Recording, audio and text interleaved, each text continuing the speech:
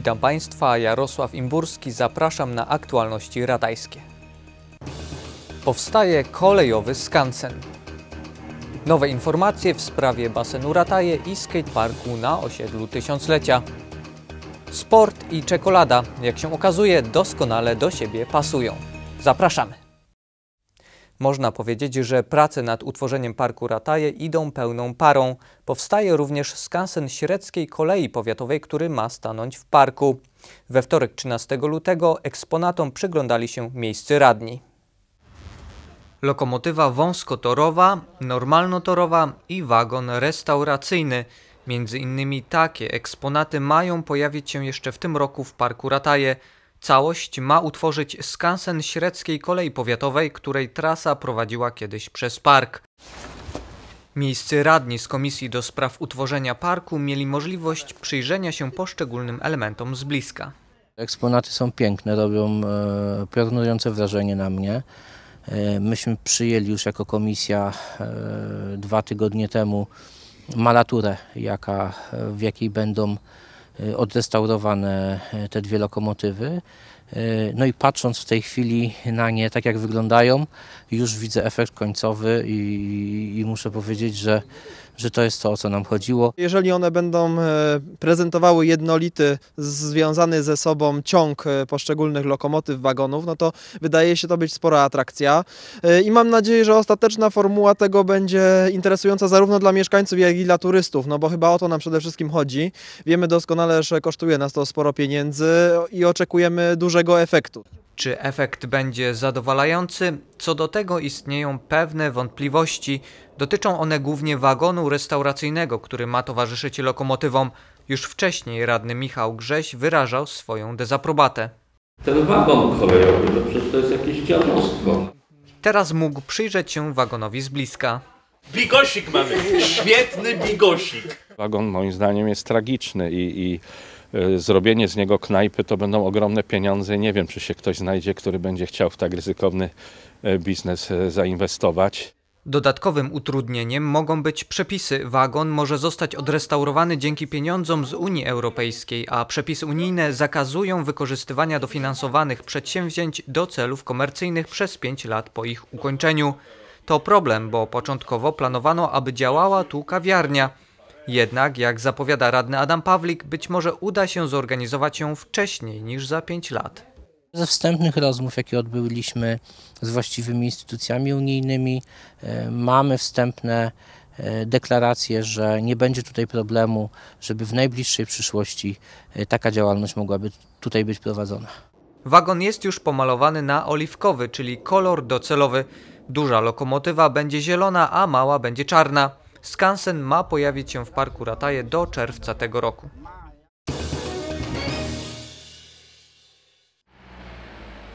Spółka Poznańskie Inwestycje Miejskie ogłosiła przetarg na budowę nowej pływalni na osiedlu piastowskim.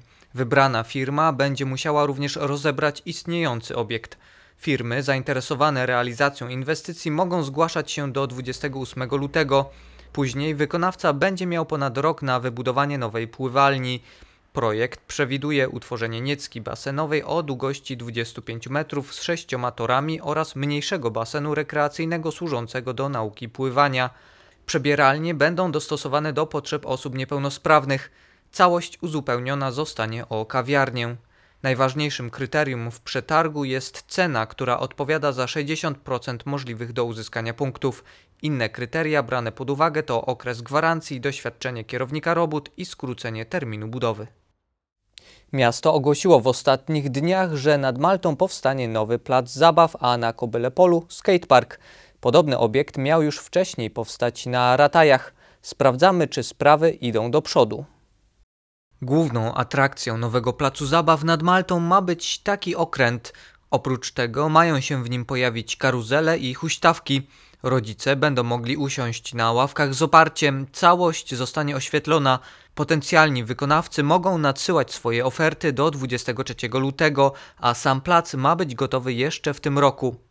Do 20 lutego natomiast mogą zgłaszać się firmy zainteresowane budową skateparku na Kobyle Polu. To projekt, który został zgłoszony wcześniej do budżetu obywatelskiego i wygrał w głosowaniu. Na jego realizację przeznaczono ponad 300 tysięcy złotych. Kilka lat temu w budżecie obywatelskim pojawił się podobny projekt dotyczący osiedla Czecha. Wtedy propozycja skateparku również odniosła sukces w głosowaniu, ale z realizacją było już gorzej. Problemem było znalezienie odpowiedniego miejsca. Dziś wiemy, że będzie mieścił się na osiedlu tysiąclecia. Właśnie trwa przetarg, który ma wyłonić wykonawcę. Oczekujemy na oferty do 22 lutego. Jeżeli wszystko pójdzie zgodnie z planem i otrzymamy te oferty zgodne z budżetem, pełne merytorycznie, no to wtedy e, przewidujemy, że od podpisania umowy 170 dni na realizację, zaprojektowanie i realizację, no i powinniśmy zakończyć to w ciągu tych 170 dni.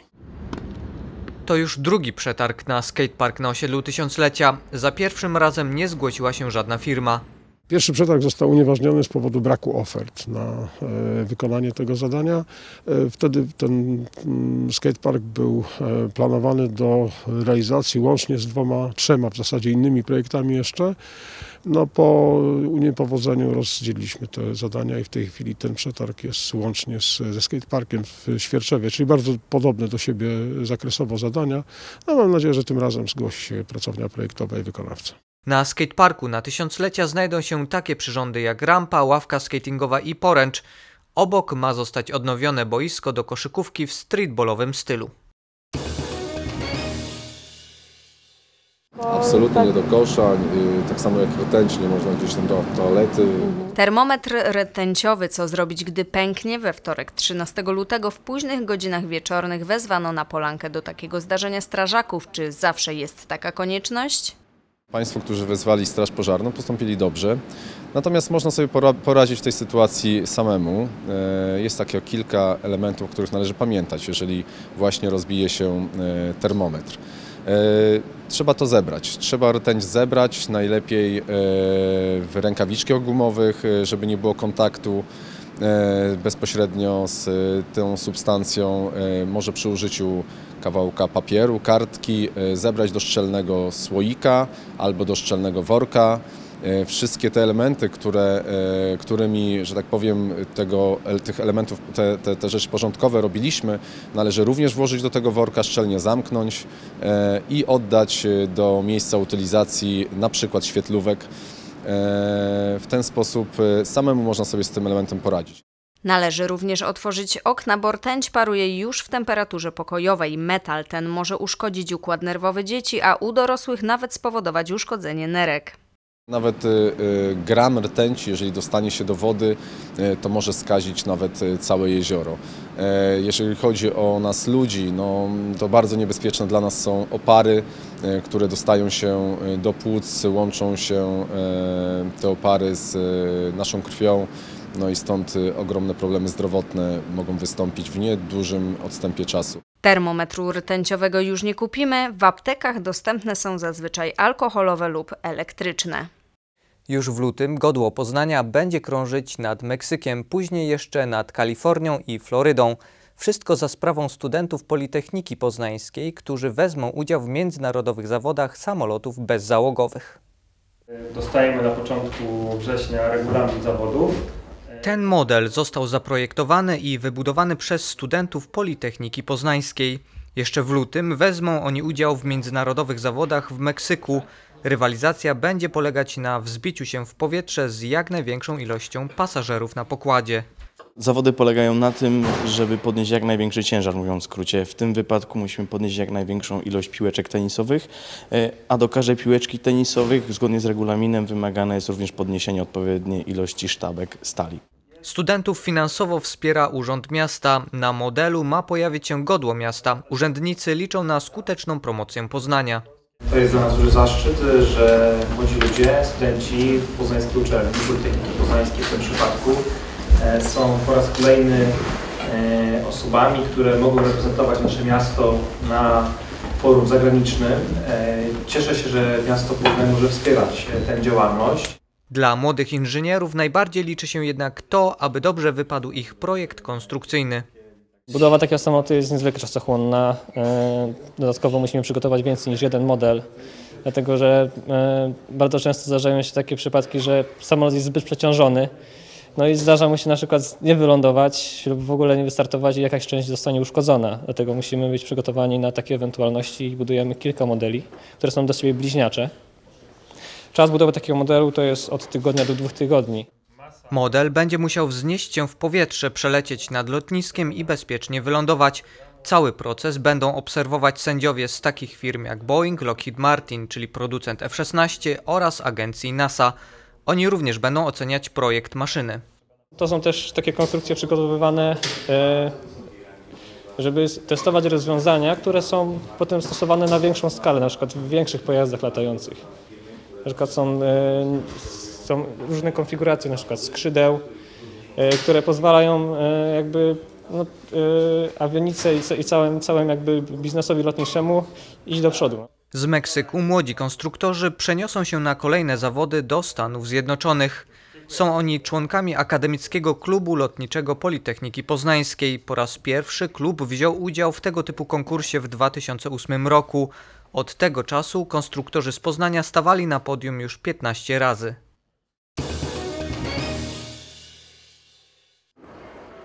Jak spędzać ferie w mieście? Na ratajach dzieci i młodzież nie mogą narzekać na nudę, bo jest co robić.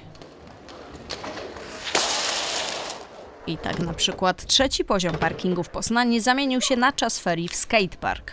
Codziennie przez e, dwa tygodnie ferii odbywają się tutaj zajęcia e, dla młodzieży. Zapraszamy wszystkich w wieku od 6 do 16 roku życia. E, można skorzystać z porad instruktorów jazdy na deskorolkach, hulajnogach, wrotkach, rolkach, trickboardach, fishboardach. Przygotowaliśmy w sumie sześć stref, każda z nich jest wydzielona osobnym kolorem. Codziennie odbywają się zajęcia w blokach 45-minutowych pod okiem instruktorów. A instruktorzy mają co robić, bo chętnych dzieciaków do darmowej nauki jest wielu i jak się okazuje, nie chodzi tylko o ekstremalną jazdę. Łączymy zabawę z nauką trików i nosimy jak najwięcej dobrego z każdego sportu. Każdy dostanie od nas tak naprawdę dużą dawkę dobrej energii. E, poza nauką trików nauczy się także e, tego, jak spędzić fajnie czas z kolegami. Można nauczyć się nie tylko jazdy na desce, rolkach czy hulajnodze, ale też czegoś więcej. Czasami się przewrócisz, ale trzeba wstać i po prostu bron, brnąć dalej. Można też odpocząć w strefie chilloutu lub poćwiczyć fingerboard, czyli jazdę na miniaturowej desce palcami. Swoją ofertę niezawodnie, jak co roku, przygotowały dla uczniów też ratajskie domy kultury. Wszystkie domy kultury spółdzielni mieszkaniowej Osiedle Młodych przygotowały swoją ofertę na półkolonie dla dzieci, które nie korzystają z innych form wypoczynku w mieście. Oferta jest y, bardzo bogata. Y, są y, różne atrakcje na miejscu, w domach kultury, ale także wyjścia, wyjazdy autokarowe poza Poznań, szereg atrakcji, tak żeby każdy dzień był urozmaicony. Półkolonie w ratajskich domach kultury cieszą się taką popularnością, że brakuje miejsc. Myśmy prowadzili e, zapisy od 8 stycznia i właściwie były placówki, które już e, po tym dniu nie miały wolnych miejsc. Także to świadczy o tym, że faktycznie zapotrzebowanie jest na taką formę. E, no i oczywiście daje nam to do myślenia i już w tej chwili przygotowujemy akcję na półkolonie podczas wakacji letnich. No i zdajemy sobie sprawę też, że będzie duże zainteresowanie, także proszę się orientować już nawet tymi y, ofertami, interesować w maju. Ferie trwają jeszcze tydzień, kończą się 23 lutego. Szerszą relację z akcji Zima wyemitujemy w ratajskim Fertlu Kultury 27 lutego. Co ma wspólnego bieganie i czekolada? Tego dowiedziało się 600 uczestników biegu czekoladowego. To była już piąta edycja tej imprezy, a pierwsza w parku nad Wartą. 3, 2, 1 i poszli! I poszli! Poszli, a raczej pobiegli uczestnicy piątej edycji biegu czekoladowego. W niedzielę 11 lutego zgromadziło się ich prawie 600. Wszystko z okazji walentynek, ale też po to, aby sprawdzić, jak po bieganiu smakuje czekolada.